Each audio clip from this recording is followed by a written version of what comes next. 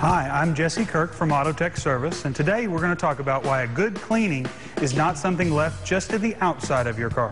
While it is easy to see when your car is due for a wash, you probably won't be able to see when your fuel system is getting dirty. Due to the nature of burning fossil fuels, what goes through and comes out of your car is actually very dirty. There are a lot of ways your car will slowly lose its ability to run at 100%, meaning decreased fuel economy and an engine that isn't as smooth as it should be.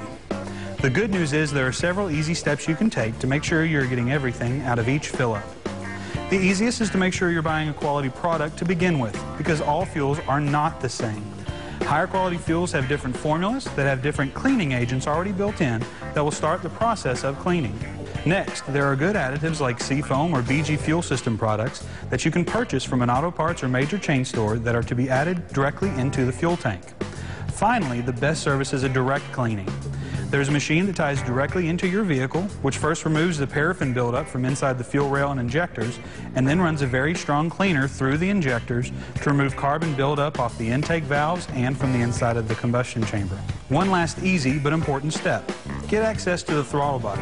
This is an area that frequently gets a lot of gooey or crusty buildup that will affect your car's idle and sometimes even binds the throttle, causing a sticky pedal or even jumpy takeoff.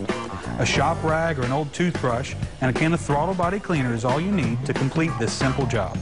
Okay, thanks for the tip. I'm Robert Lindsay from Auto Tech Service. Join us here on ABC 36 every Monday for Under the Hood car care tips and on the radio Saturday for Under the Hood. Noon to 2 on News Talk 590 WVLK.